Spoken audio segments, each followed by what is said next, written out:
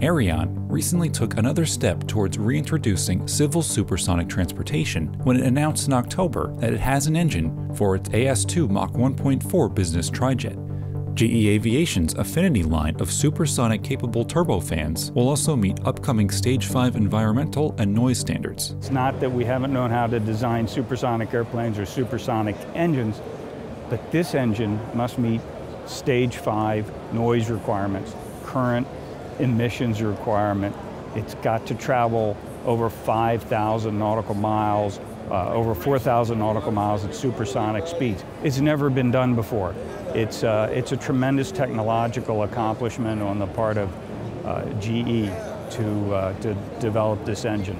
So when people think about supersonic aircraft, they usually think about noise on takeoff because there's an afterburner on the engines. This was the case with the Concorde, and military jets often have afterburners. There's no afterburner system on this uh, engine, and so it's quiet on takeoff.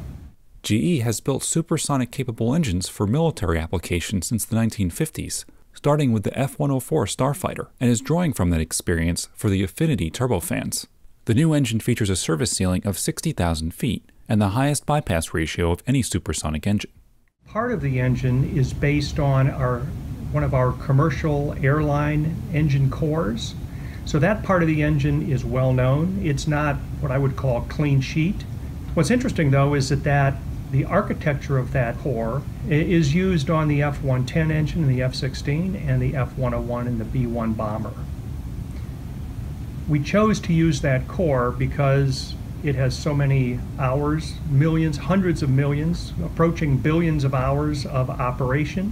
So it's very reliable, it's very well known. What's different about the core in this application is we have introduced some additional thermal technologies because the engine has to operate at higher temperatures for longer periods of time.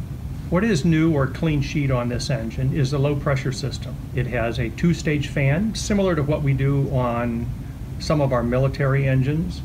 It has advanced acoustic treatment because noise is important, and it has a unique exhaust nozzle system. So we take a proven commercial airline core, adapt it for higher temperature, high altitude operation, and put a new low pressure system around that core. The first AS2 is scheduled to fly in 2023, with certification in 2025, and GE says that it will have the engine ready to support that schedule. We have completed the product definition, what the requirements of what the engine needs to do to support Aerion. We have a conceptual design, so we know that we can produce an engine that meets the requirements of the aircraft. And we have a preliminary design review scheduled in 2020. Uh, that's the next step. If you've enjoyed this video, please give it a thumbs up, share it, and subscribe to our channel. Also, visit AINonline.com and check out our e newsletters for all the latest on the aviation industry.